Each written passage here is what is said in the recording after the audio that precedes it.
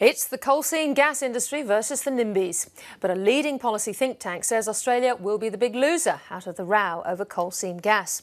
A report by the Committee for the Economic Development of Australia, CEDA, has concluded that billions of dollars and thousands of jobs are at stake if governments can't ease community concerns.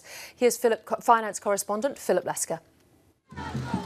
It's a delicate balance. People want cheap energy, but not necessarily when it comes directly from their backyard. Australia's future energy options are so critical that every particular option needs to be considered. CEDA says when it comes to unconventional energy like coal seam gas, we're seeing superficial arguments pitting farmers or environmentalists against miners. Its report recommends better community engagement. I think it makes a, a, number of very important points.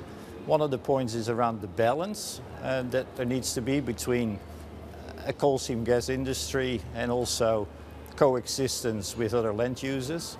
But CEDA says more needs to be done to reassure communities.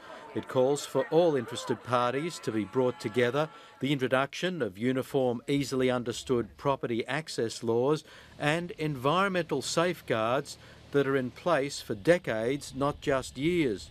Clearly, some of the some of the requirements, some of the legislative requirements, need uh, the light touch of the COAG process. But what it certainly needs is, of course, a national approach with some tweaking at the at the local level. And the report also identified problems like the water use exemptions that coal seam gas miners enjoy in Queensland which means that they're exempt from all the all the considerations that apply under water plans and in the water entitlement uh, licensing process, like thinking about the kinds of ecosystems that could be impacted by extracting that water.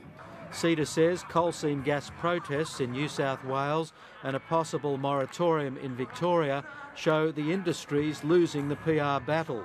There's a lot of work going on when it comes to community engagement and a lot of best practices are being shared uh, between the different companies. The problem with the industry is, is they've caused so much damage to their social licence that it would take a hell of a turnaround. And community groups like Lock the Gate are not for turning. The evidence that we need the gas for the future is not actually that strong anymore. We're very rapidly reaching a point where renewables can actually meet our needs. But that's yet another heated debate for another day.